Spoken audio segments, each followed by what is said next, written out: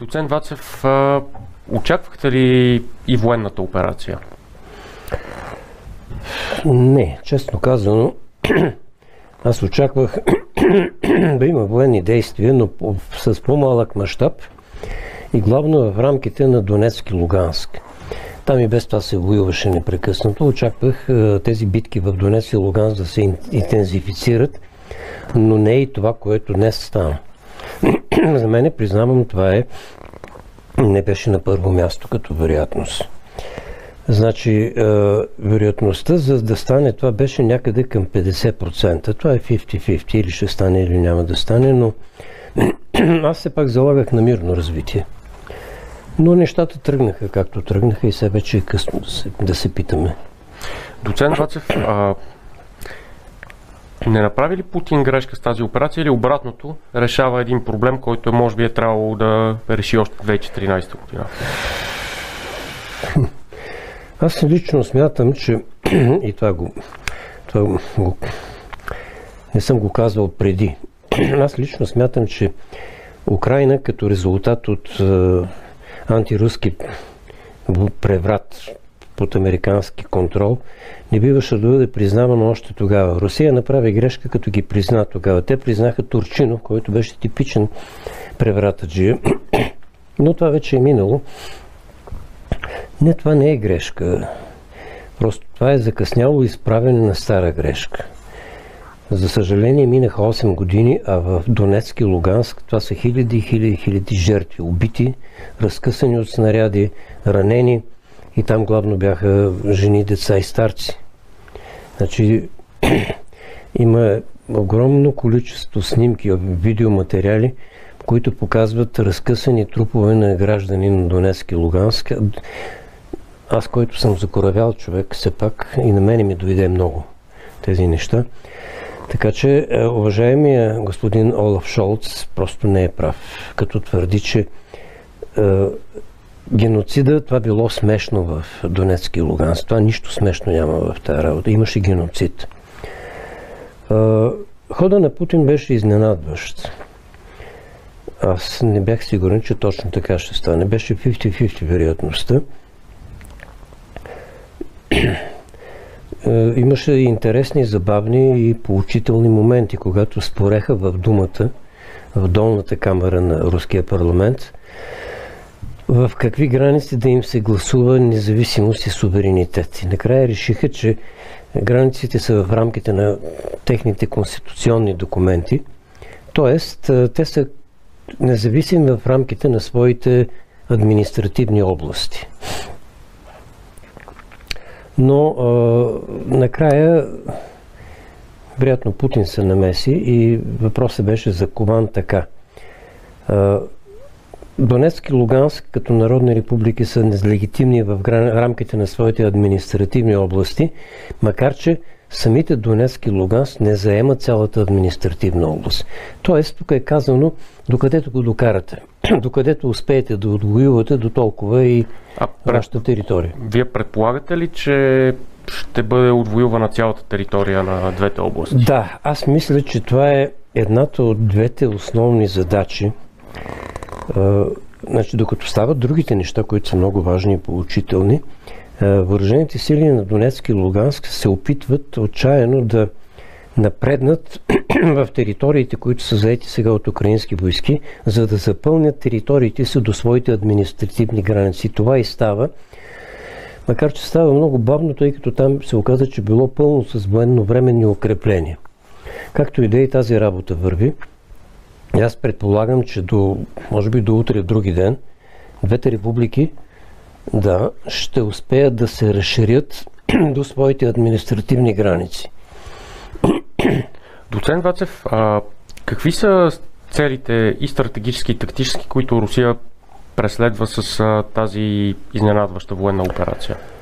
Но, тактическите цели са ясни. Те са военно-технически цели. Значи, по това време на деня, може би и тази нощ можем да сложим в сметките, тече първата фаза на войната. Сега ние като цивилни хора можем да наречем това война. Военното ръководство на Русия предпочита да го нарича специализирана военна акция, но няма значение. Всъщност термините не са важни. Специализирана военна мероприятие по денацификация и демилитаризация на Украина. Това е много сериозно. Сега, първият етап или вече е завършил, или предстои тази нощ да завърши. Това е задачата да се бомбардират по карта всички военни обекти на украинските въоръжени сили. Летища, военни складове, пристанища, специализирани обекти, пристанища, изобщо всичко, което има някаква връзка с, Америка, с украинските военни по някакъв начин, който ги обслужва, то трябва да бъде бомбардирано. Предполагам, че това може да продължи не по-късно от утре сутринта и това е първата тактическа задача. На този етап се предполага, че трябва руските въоръжени, руската авиация да има пълна доминация във въздуха което е и факт. Украинската авиация е свалена на земята.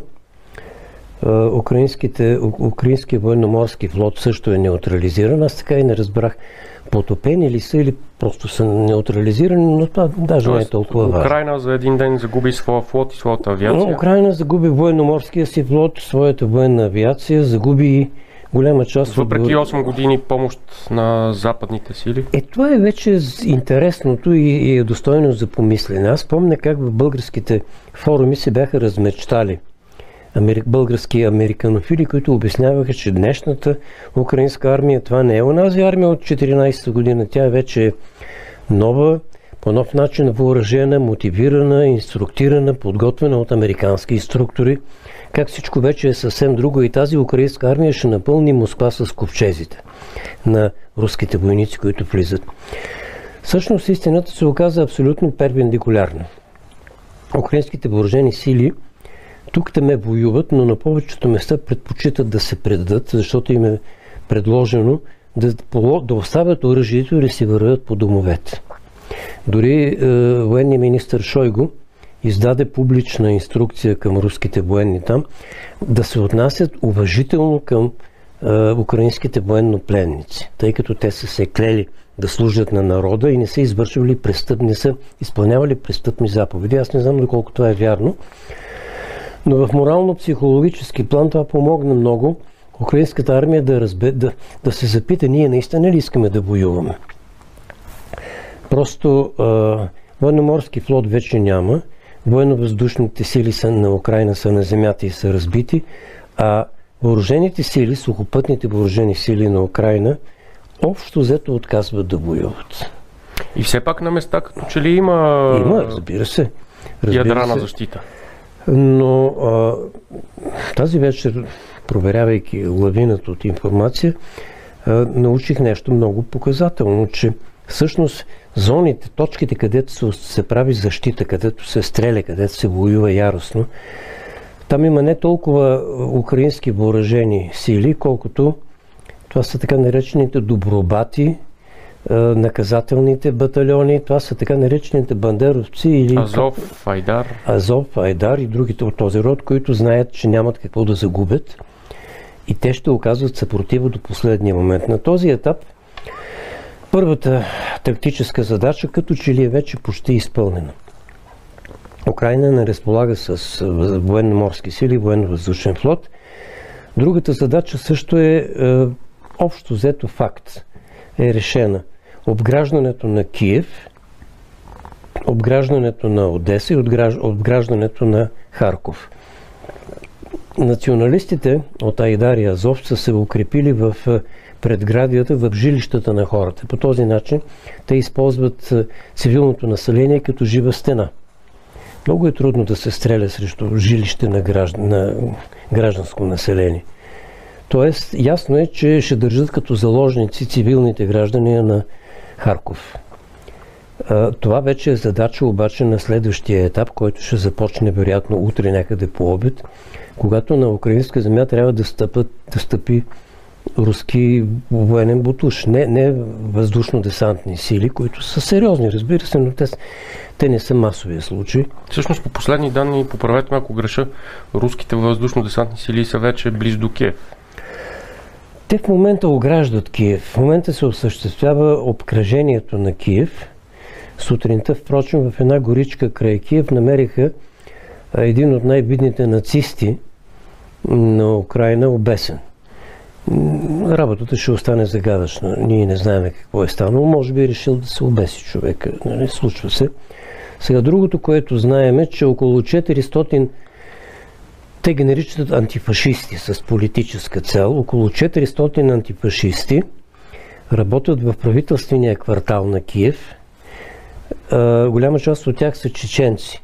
Чеченски антифашисти. Чеченски антифашисти, на които всеки от тях е дадено по едно тесте с снимки.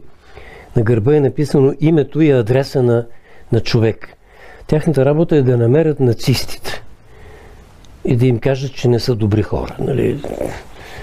Така.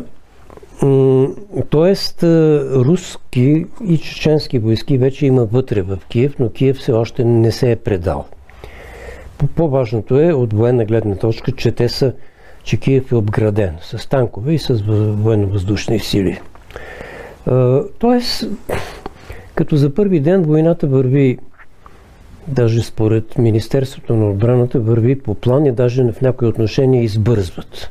Аз не знам дали това е добре, но от гледна точка на военното командване на Русия, войната върви успешно, спазени са необходимите темпове и че според тях всичко е наред. Това, че всичко е наред, се свидетелства и от факта, че Зеленски изкочи от някъде. Той беше изчезнал. Ние не знаехме къде е той. Целият след обед не знаехме къде е Зеленски, президент Зеленски. При вечер той се появи и предложи на Путин мир. Не е ли закъсняло това предложение? Според мен той имаше много светло време за това преди.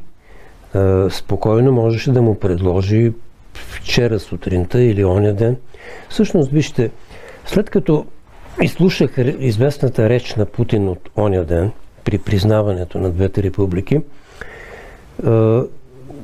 аз вече бях сигурен, че нещо от този род, може би не точно това, че нещо от този род в духа на реална политиката, на реалната политика, нещо такова ще стане. Путин ясно заяви, главното съдържание на неговата реч беше, като оставим историческите екскурзии, там има неща, които аз не приемам всъщност, неговите обяснения за това, защо под Съветския съюз е имало мина. Но той правилно обясни, че тази Украина, която е днес, няма никакви основания да съществува. Нито логически, нито исторически, нито юридически, нито физически, че това е една криминализирана, нацистка, корумпирана псевдодържава, която трябва да бъде унищожена и ние няма да се успокоим, докато не решим този въпрос. Доцент Вацев, това отваря темата и за последствията от тази война, която предполагаме всички, че бързо ще завърши. А, Смятате ли, че Украина в днешния вид ще престане да съществува като държава? Ето това е големия въпрос. Всъщност всички досегашни подробности за касаят военно-техническата страна войната. Войната е любимо занимание за журналистите. Много е приятно да наблюдаваш отдалеч, разбира се, войната, защото винаги можеш да напишеш интересен материал. Но реалните политически проблеми идват след това. Тази Украина, за която говорим, в момента си отива, тя бере душа. Предполагам, че до утре сутринта, най-късно до утре вечерта, просто няма да я има. Тя няма да съществува като тяло, като политическо тяло. Това означава, че се появява моментално основният, главният въпрос. Каква Украина може да има след това? Какво представлява следващата Украина, защото аз съм сигурен, че трябва да има Украина. Значи не може да се закрие една цяла държава. В момента руските войски ще закриват до сегашната нацистска Украина. Корумпирана, криминализирана и на, нацистка. Такъв е и смисъла на операцията, според Путин. Демилитаризация и денацификация. Но другата Украина трябва да остане истинската Украина, тази, която аз съм възпитаван да уважавам и да харесвам. Аз харесвам Украина всъщност. Друг е че последните 8 години не можех да я позная. В Украина, която си отива днес и утре, работеха ескадрони на смъртта. Хиляди и хиляди хора загинаха и никой не, не посмя да попита къде са. Имаше е, тайни убийства по списък, имаше разстрелни списъци. Е, да не говорим за корупцията, която беше посмукала цялото общество. България е корумпирана държава, но на фона на днешна Украина, България е място, където живеят белокри, белокрили ангели. Българската корупция е просто смешна на, на фона на украинската. Истинския конструктивен политически проблем е какво ще се появи там, на мястото на... Доцент Вацев, очаквате ли, например, че може да се появи ново държавно образование, да речеме като конфедерация от Новорусия? Там има няколко възможности и аз в момента не мога да избера коя е най-вероятната. Значи, Или федерализиран вариант на Украина? А, доколкото разбирам, желанието на Кремъл беше точно това, което вие казвате. А, Украина, но вече дружеска, денацифицирана, спокойна страна, която уверено решава проблемите си, за което ще и се помага, разбира се, от руска страна, която представлява една хлабава федерация на региони, които живеят с обща конституция и с общи цели. Но аз не знам още и боя се, че малко хора знаят, освен в Кремъл, разбира се, какво ще стане с Галичина. Това е интересен въпрос. Впрочем, очаквате ли военната операция да стигне и до тези региони и съответно да, да има и много по-голяма съпротива там? Вече не знам на какво да вярвам, когато говорят за съпротива. Аз очаквах мащабна съпротива, максимална съпротива. Няма такова нещо освен от страна на Азов и Айдар. Доколкото ми е известно, има бомбардировки по военни обекти в Западна Украина, близо до Лвов. На Лвов никой нищо не е направил, там няма опити да бъдат обграждани. Предполагам, че руските войски по някакъв план ще влязат и в Западна Украина, за да се денацифицира и Галичина. Но как точно от Галичина ще се направи федеративна част на Нова Украина, аз това не го разбирам и не го виждам. Това е съвсем различна страна. Да, тя е основана, най-старите исторически наблюдения са за руски происход и на Лвов. Но Лвов много отдавна не е типичен руски град. Това е католически западен град. Той, той, той се е развил дълго време в рамките на Полша. Това е Лемберг. Да, и на Австро-Унгария. И на Австро-Унгария, разбира се. А, населението на Галичина около 500 години е нямало връзка с основната маса на руснаците, които са живеели в Русия. Така че аз не съм сигурен дали волята на Сталин е била напълно правилна, когато по волята на Сталин Галичина се присъединява към, към Съветския съюз. Разбира се, лесно е да се говори отстрани, но аз мисля, че едно леко решение е Галичина да бъде предоставена на Полша. След като а, румънците си вземат, което им се полага, и унгарците си вземат. А има ли такава възможност, според вас, Румъния, Полша и Унгария също да влезнат в Украина? За... Не, никой, не мож, никой няма да посмее да влезе. Унгария е просто изпратила войски на границата, за да пази страната от бежанци. Това е демонстрация на присъствие, така е правилно.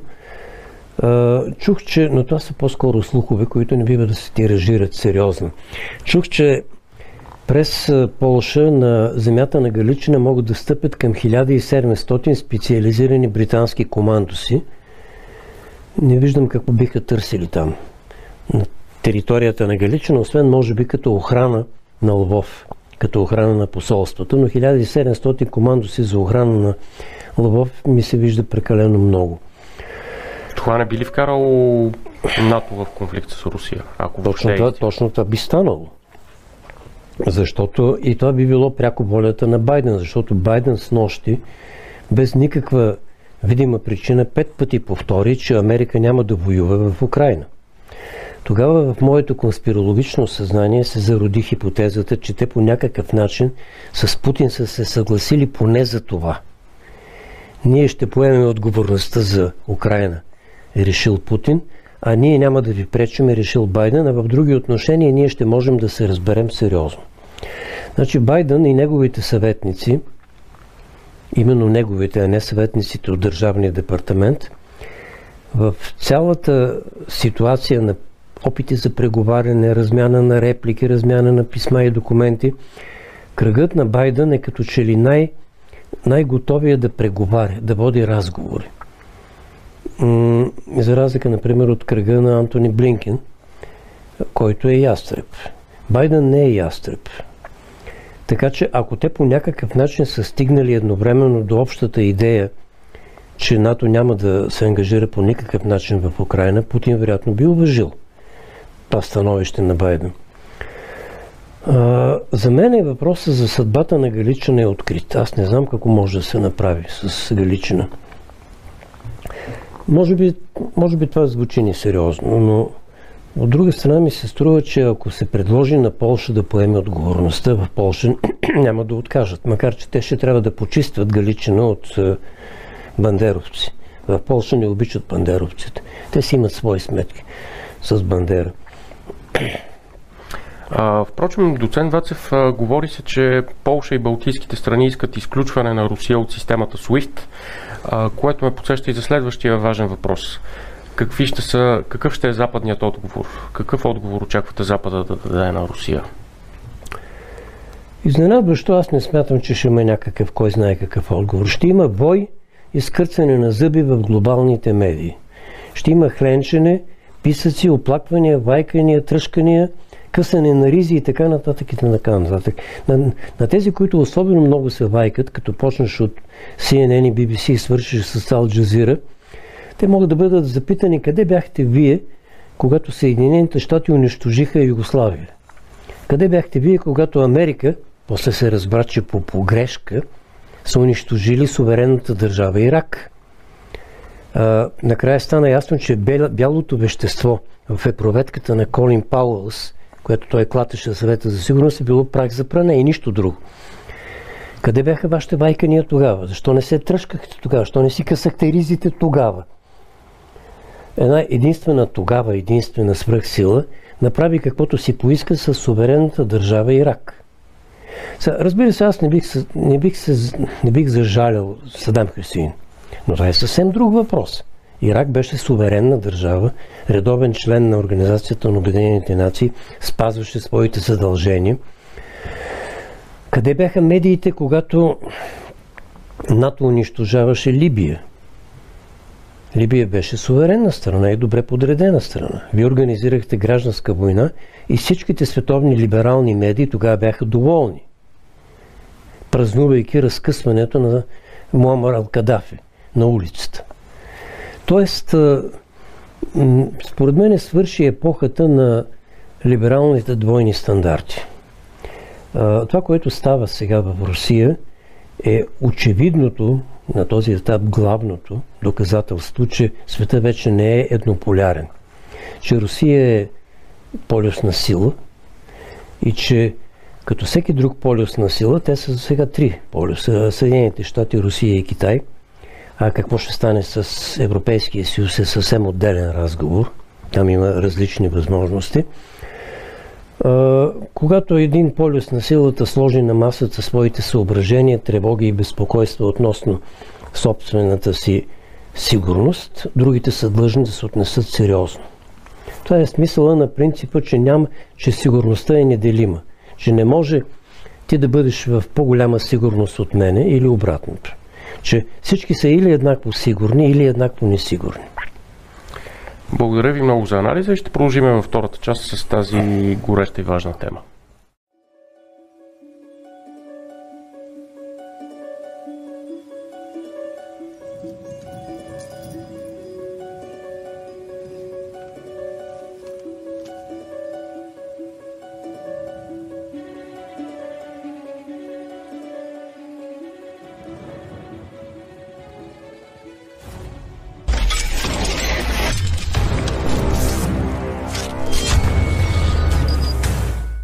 Здравейте отново, уважаеми зрители. Това е втора част на разговора с доцент Валентин Вацев относно изненадалата всички ни война в Украина. Доцент Вацев, а, смятате ли, че събитията в Украина и тази война, когато тя приключи скоро, предполагам, ще доведе до реинтеграция на страната в руската зона на влияние, може би в ОДКБ, в Евразийския съюз? Това е големия и сложен въпрос. Значи, на фона на този голям, сложен и неясен въпрос, перипетиите на една война, дори и такава успешна, каквато е днешната, изглеждат малко несериозно. Сега, няма напълно успешна война. Ще има загинали. Войната е такова събитие, че хора загиват. Ще има загуби в жива сила и техника. Значи, въпросът е, че както е тръгнало днес, имаме право да очакваме, че следващите 2-3 дена това ще продължи и тогава ще се появи главния въпрос. На къде по-нататък? Днешната Украина, която е отвратителна, аз казвам това открито, тя е отвратителна. Тя е изградена върху лъжа, спекулация, насилие, лицемерие, грабежи, русофобия и нацизъм. Днешната Украина си отива. Въпросът е какво може да се направи на нейно място. Почнахме да изчерпваме вероятностите в миналия ни разговор. Аз не знам какво ще стане с Галичина. Ако оставят Галичина без прочистване, Галичина ще стане гноен русофобски цири. Ако я дадат на Полша също. Полската русофобия е исторически известна, естествено. Макар, че в Полша не само русофобия има, там има и много разумни и отговорни хора. Ако конструкцията на една нова федеративна Украина се окаже невъзможна, тогава Нова Русия, това са областите от Харков долу до Одеса, да, те се виждат на картата, спокойно могат да бъдат обявени за Нова Русия и да бъдат признати като независим международно правен субект. Включвайки а, двете народни републики. Точно така. Донецката и Луганската народна република. Тази територия би имала сухопътна връзка с Крим и би имала и сухопътна връзка с Приднестровието, което означава от, отрязване на старата историческа Украина от морето. За голямо неудобство на американските генерали, които смятат, че, че именно Черно море трябва да бъде мястото, където се демонстрира американската военноморска сила. Така или иначе, по някакъв начин трябва да се създаде нова Украина, която да бъде демилитаризирана. Това, това ще свърши до утре сутринта, както ви казах. Но денацификацията е по-дълъг процес. Той не може да продължи три дена. Това е работа на специализирани органи, работа на следствена комисия, това е работа на медиите, това е работа на общественото мнение. Значи става дума да се събуди общественото мнение по край на него го има – всички здрави и жизнени сили на Украина да се, да се изправят отново Украина, да заживее пълноценен културно-политически и стопански живот. В економическо отношение, впрочем, Украина е в бедствено положение. Техните дългове са повече от 100 милиарда. Винаги стои въпроса, кой плаща дълговете. Аз не очаквам Русия да плаща дълговете на Украина. Това е една от причините, впрочем, още от тази сутрин да се съобщи от руска страна, че никой няма да окупира Украина, защото този, който окупира Украина, трябва да извади 300 милиарда суха пара и да ги сложи на масата, защото толкова пари трябва за стабилизация, за изплащане на дългове, за възстановяване на индустрията, за социални цели и така нататък. Русия дори, има, дори да има 300 милиарда, няма никакви причини да ги инвестира в Украина. Аз очаквам да има една спокойна, добронамерена, извън блокова а, Украина, с или без а, Новорусия, защото Новорусия може да бъде част от Украина, ако има, ако има федеративен договор. Но Новорусия може да бъде а, независим суб, субект на Руската федерация, всъщност. Те също могат да станат. И до сега в Русия не се съмняват, например, че Харков е руски град. Той наистина е руски град. С или без Новорусия, там трябва да има една Украина, която да е спокойна, успешна економически, независима, суверенна и извън блокова. И тук влизаме в следващия сюжет, който за мен лично е по-интересен и по-важен. Разбира се, че винаги е интересно да се проследи една война. Войната е ефектен ред от събития, особено ако не си там, където падат бомбите. Отдалече най-добре се наблюдава на екрана на телевизора. Войната е интересна. Но това, което е съдбовно важно, не е войната, която трябва да свърши все пак до няколко дена или най-много до седмица или до 10 дена, когато, заработи, когато ще трябва да заработи дипломацията. В Украина ще трябва да измислят ново правителство. Сега съществува теоретичен вариант а, Зеленски по някакъв начин да се опита да влезе и да успее да влезе в преговори с руската страна. Аз това не го вярвам. За Зеленски е късно от всякъде. Зеленски, ако се държи рационално, той може да получи място в Ростов на Дон, там където е предишният президент. Янукович е в Ростов. Той там обитава. Изключвате връщане, впрочем, на Янукович, който все пак беше свален с преврат? Янукович може да бъде върнат, но само за известно време. Янукович е морално-политически дискредитиран. Аз не съм чул някой да каже за него дума на доверие, добра дума, дума на уважение. Янукович направи възможно най-големите глупости, с които подготви преврат. По-добре направо да поканят Джефри Паят да стане президент. Този, който, американският посланник, който организира преврата. А могат да поканят и Виктория Нулан, която също участва. Михаил Саакашвили. Саакашвили, разбира се, за него винаги има място. Значи, следващия въпрос, който е геополитически и той ми е интересен по същество най-много. Значи, геополитическата амбиция на новата велика сила Русия, на новия полюс на силата Русия, е превръщането на постсъветското пространство в зона на влияние.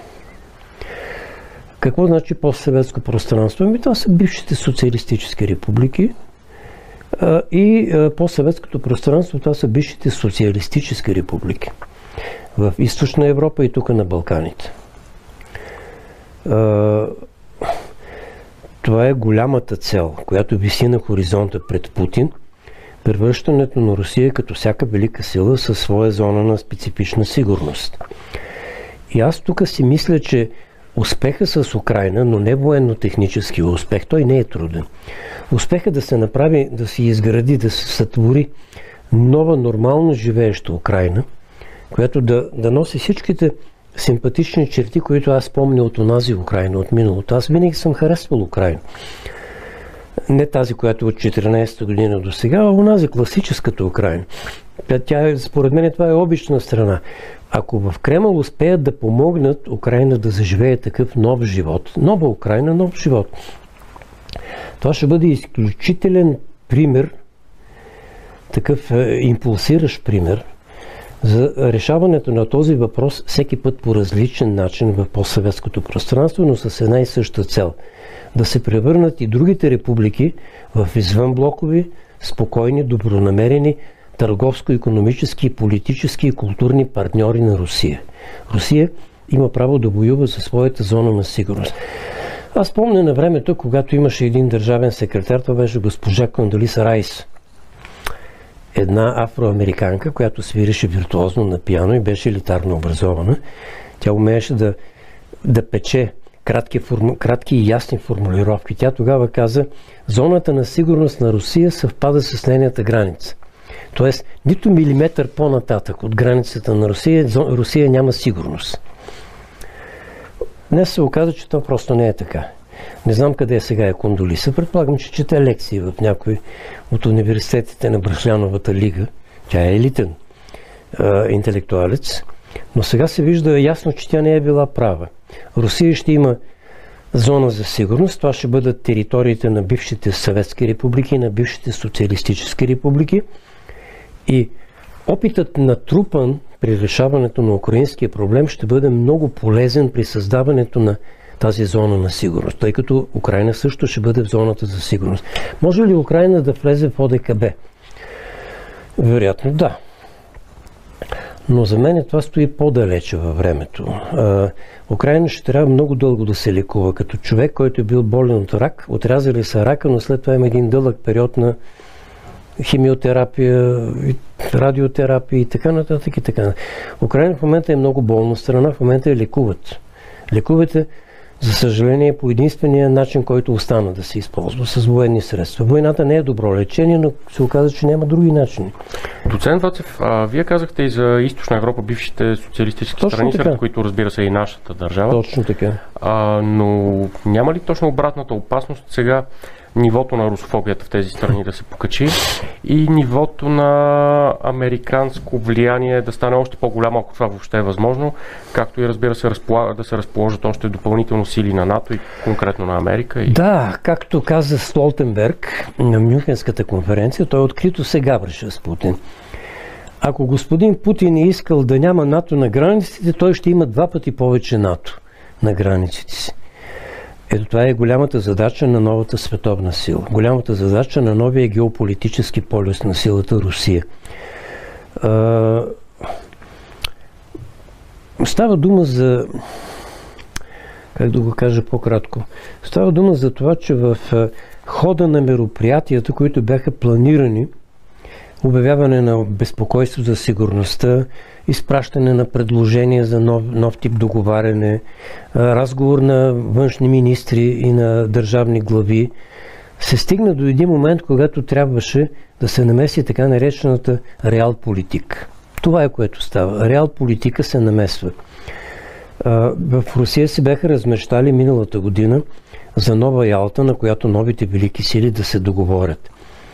Работата е там, че аз това непрекъснато се питах как е възможно да забравят, че Ялта е събитие, което стана възможно след победата в една война. Русия има нужда от победа сега в Украина, за да може по нов начин да разговаря с Америка на Байден. С Столтенберг никой няма да разговаря. Него а, Лавров го така го дезавуира, че Столтенберг вече не го взимат на сериозно, но предполагам, че и на него не, не му е грижа това, тъй като той ще бъде от края на тая година, ще бъде банкер. Той ще отговаря за Норвежката национална банка. Това също не е лоша професия. На Столтенберг вече никой не обръща внимание, дори когато се опитва да се шегува с Русия. Работата е там, че след евентуален успех на тази операция, която сега наблюдаваме, Путин и Байден ще могат да разговарят по друг начин. Тоест, Съединените щати ще трябва да могат да се съгласят, че всъщност за какво става дума, за какво да се съгласят, че те не са сами на острова. Значи трябва да преживеят ужаса на Робинзон Крузо, който не вижда една сутрин, като се, като се разхожда на брега, вижда човешки отпечатък на пясък. Не знам дали си спомняте какво прави Робинзон. Той веднага ужасен се връща в пещерата си, слага, зарежда мушкетите към входа на пещерата и трепери три дена. Това е шок. Когнитивен дисонанс. Божешко, не съм сам на планетата. На Америка предстои да приеме, че не е сама като велика сила. Свърши епохата на едноличната велика сила. Светът вече не е еднополярен. Новия свят може би няма да бъде по-спокоен. Аз не съм сигурен, че новия свят ще бъде по-мирен и по-спокоен. Напротив, ще дойде, очаква се да дойде вълна от а, регионални конфликти, които да залеят планетата. Но има шанс новия многополярен свят да бъде по-справедлив. В него да няма отвратителните демонстрации на лицемерие и на двойни стандарти, които Съединените щати напоследък непрекъснато демонстрират. Когато а, Съединените щати унищожават суверенната държава Ирак, това е за радост на цялото човечество. А когато Путин унищожава един нацистски Цирий, каквото е в Украина днес, това е олеле бошки. Всички ние сме длъжни да плачем. Така че в многополярния свят, в който ние не бива да забравяме и Китай, разбира се. Китай е отделна глава да, в това е тема, която ми се иска да отворя всъщност, Да. ако възможно още сега доцент Да. Вацев. Има ли възможност Китай да използва сега събитията около Украина, за да реши 100 годишния вече тайвански въпрос? 100% има възможност и дори в подкрепа на тази възможност аз днес след обед научих от няколко източника, че Китай е запълнил териториалните води на Тайван и пролива, тайванския пролив, със свои военни кораби. Така че да, има възможност и то такава готова, поднесена възможност. От друга страна, това няма да е по-китайски. Китай без да, се, без да се хвалят с това, Китай има имперско светоусещане за време и за история. Китай е на принципа, че цялото време на света е нашето време. Че докато другите идват, развиват се, разцъфтяват и умират, ние стоим и гледаме световната, световната драма. Това е усещане, имперското усещане за това, че притежаваме цялото време и ние не бързаме никъде. Някой китаец беше казал, че всяка година Тайван се доближава с един сантиметр до Китай, островът. Но ние, отговор, продължението на фразата беше, че Китай има време да почака. Така че това няма да е много по-китайски. Но те могат да го направят и докато ние разговаряме с вас, те могат да го направят. Тайван е беззащитен. Но това няма ли да ги вкара в конфликт с щатите, които все пак Байден каза, че Америка ще защитава Тайван? За Тайван пое ангажимент за разлика от Украина. Вижте, Китай от преди Русия има съзнанието на велика сила. Значи аз не съм ги хванал нито веднъж последните няколко години, последните три години, те да изразят тревога от нещо и безпокойство от нещо. Китай, в Китай са уверени. Вие кои сте? Вие нямате история. А ние сме хилядолетната 5000 години имперска история. Китай е във върха на своето самочувствие сега, което не значи, че Китай няма проблеми, тък му напротив, има ужасни проблеми, които не бива да се забравят. Така че на отговора на вашия въпрос, да, Китай е, има възможност точно сега, докато се решава украинския въпрос, да реши тайванския въпрос. И аз очаквам точно по този начин тази проблематика да бъде поставена в американската преса. Защото тази проблематика, за която сега говорим, засяга отношенията между Байден и Тръмп. Защото хората на Байден, Демократическата партия, съгласявайки се абстрактно, че Китай е проблем, те продължаваха да смятат, че Русия е проблем. А Тръмп винаги е твърдял обратното – че с Русия ние някак си, не знам как, но все някак си ще се разберем, а виж с Китай е големия национален стратегически проблем. Очаквам в Fox News Карсван Тъкър да запита а, кое караше нашите демократични приятели да развалят отношенията с Русия и да сближават отношенията с Китай. В Fox News ще попитат хората на Тръмп, непременно ще поставят въпроса кой накара демократите, които днес управляват тази нашата родина, да свързват с такива твърди връзки Китай и Русия? Кой, кой попиля наследството на Кисинджер? Защото Кисинджер на времето заби клина между Китай и Русия. А Байден направи точно обратното. Извади клина от Китай и Русия. Беше ясно, че натиска срещу Китай и срещу Русия едновременно просто ги сближава и нищо друго. Така че американските републиканци непременно ще поставят този въпрос. Трябва да се следи американската преса. Тя, между другото, е поучителна. Онази вечер, в е, онзи ден, след речта на Путин, обращението му към народа, което аз, нека да го кажа отново, аз не приемам всичко там, но това е голямата реч в живота на Путин. Тя е речта на живота, но той си я е правил сам. Сам си е лъскал, сам си е подготвил, сам си е репетирал. Та след като Путин прочете тази реч, която в известен смисъл беше и пожелание към народа да подкрепи Путин в условие, когато елита може би няма да бъде напълно сигурен. След тази реч в Wall Street Journal се появи следното заглавие. Действията на Путин заплашват американското лидерство на света – Вярно ли е това? Ами вярно, вярно. Умни хора са го казали. Така че е, на този етап Зорлем сплотиха Китай и Русия, демократите, хората на Байден, които се занимават с културни революции в страната си и рутят статуи и воюват срещу историята на, на собствената си страна. Е, Китай може да реши тайванския проблем. Изведнъж може да го реши. Той се решава за три дена, защото Тайван е без, без, беззащитно място. Но аз ще бъда много изненадан, ако го направят. Китайците живеят по друг начин във времето. Китайската специфика е, че те никога не са директни. Те винаги говорят с метафори, че очакват от тебе да се досещаш, което не са ти казали. Че за тях времето аз, аз подозирам китайците, че тяхната история е циклична. Че и до сега е циклична. Че тяхното историческо самосъзнание е, живее с циклите, за които ние знаем от философията на историята. А, има един друг въпрос. Ще може ли днешното разбирателство и днешното съгласие между Русия и Китай да продължи във времето? Да не се окаже, че то е ситуационно, конюнктурно – аз се надявам да не е. Защото Русия и Китай имат все пак общи цели.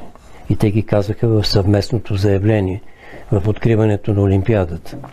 Ние сме толкова близки, че дори нямаме нужда от договор.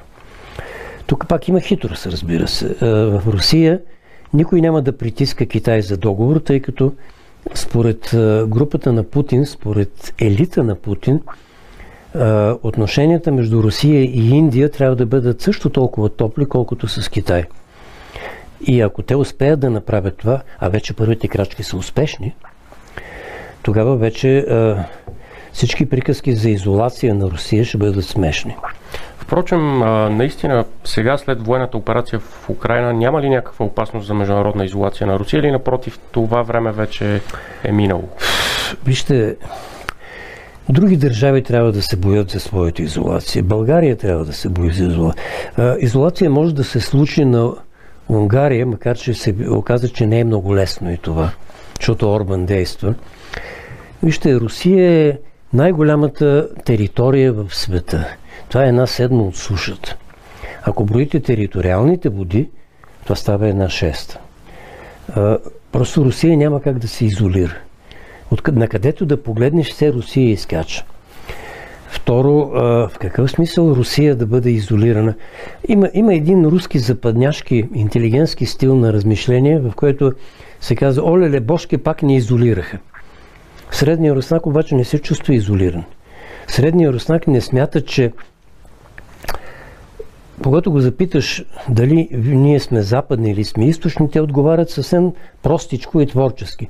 Това, което е отляво от нас е запад, което е отдясно от нас е изток. Русия не е нито запад, нито изток. Русия е междинната страна, срединната страна на евразийския континент. Същото мисля, че биха казали и от Китай за себе си. Русия не може да бъде изолирана, защото Русия това не е главната причина да не може, но и това си струва да се каже.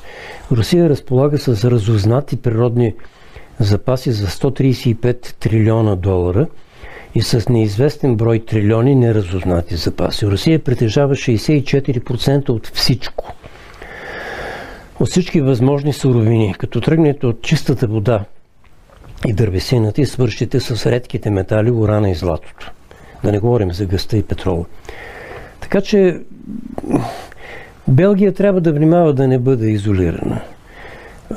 Може би е възможно а, и Португалия да бъде изолирана. Но а, държави с такъв размер и с такава роля в историята, кой да ги изолира? CNN? Това е несериозно. По същия начин и Китай не може да бъде изолиран. Китай се чувства като запасно човечество. Ако останалите хора по земята изчезнат, в Китай може и да не забележат в първи момент това. Русия е на същия акъл. Руснака е себецентричен. Той живее със себе си, със своите гори, със своите е, степи, със своето особено място в геополитическата карта на Евразия. Е, ако ние изпукаме, в Русия може и да не забележат. А идеята те да бъдат изолирани, ако се опитате да им обясните, те може и да не я разберат. Какво значи да ни изолират? Да ни оставите намирали много добре? Направете го.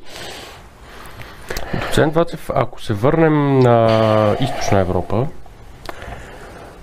смятате ли, че как виждате евентуалното проникване на руското влияние тук, защото все пак в момента има една така невидима натовска бариера?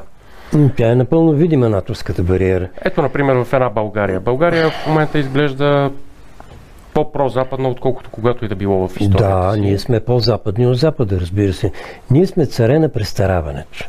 По времето на Съветския съюз удържахме в съревнованието с всички други да бъдем най-близки до тялото на царя, до Брежнев. Живков се целуваше редовно с Брежнев. Не, че му е било приятно, едва ли е приятно да се целуваш с старец, но той го правеше. А, България в това отношение си е същата.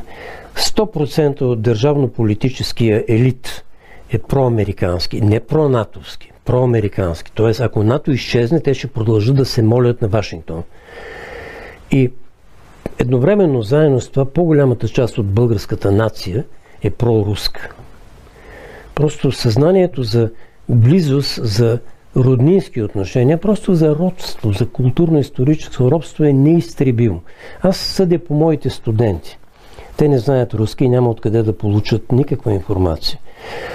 Нали помните, не знам помните ли, имаше една инициатива, когато всички руски предавания в България бяха спряни, за да не учи народа руски. Идеята беше руският език да се замени с английски. От тогава ние нито на руски, нито на, на английски говорим. Та, моите студенти не знаят руски, но когато им кажа нещо лошо за Русия, те се намръщват и аз усещам, че късам връзката с тях. Обратно, когато кажа нещо за голяма Русия, за възможности, за шансове, за мащаби, за размер, те моментално почват да ме гледат с интерес. Аз не вярвам в генетична памет. Има някаква обаче културна приемственост. Те, те са получили нещо от родители си. Дори, дори студенти, които съзнателно са русофобски настроени, те са обработени. Дори и те, всъщност ако поговориш с тях, аз не го правя много често, защото не е моя работа това. Дори и те всъщност не са русофоби. Значи, това е дълъг разговор и ние няма да имаме днес време, но аз съм писал студии за това откъде идва русофобията. Русофобията е религиозен резултат от великото разцепление, от великата схизма, когато православието и западното християнство се разделят. А, тук има много сериозни аргументи за това. България е православна страна.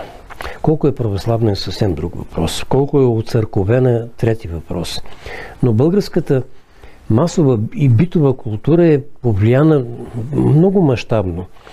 Решително е повлияна от остатъците на православната българска култура. В православна страна русофобията просто няма как да мине. Русофоби ще бъдат Плевнелиев, разбира се. Огнян Минчев, моя колега, разбира се, на тях им прилича. Друг въпрос е, че Минчев е по-сложен. Той няма да пропусне да каже, че аз обичам и уважавам руската култура, а виж Путин е друго нещо. Умните български русофоби имат запас на уличка, откъдето да се измъкнат. Ние живееме с руската култура, познаваме Николай Лесков и Фьодор Михайлович Достоевски, цитираме Пушкин, а Путин го мразим. Добре?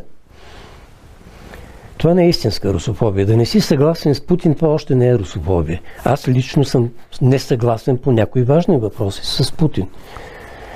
Какво толкова? А, аз бих обобщил. Това, което става в Украина е интересно и важно само по себе си.